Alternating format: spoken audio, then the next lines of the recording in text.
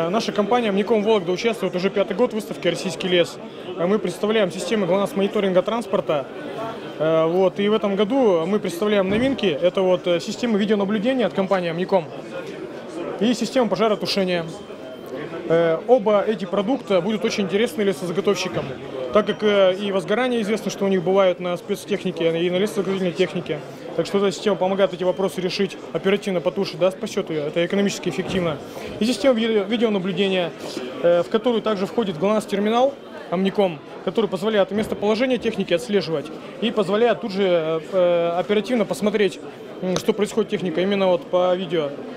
Передача данных осуществляется по 3G каналу, то есть специалист, который будет это мониторить, он уже будет видеть полностью раскрытую картину, что происходит с транспортным средством.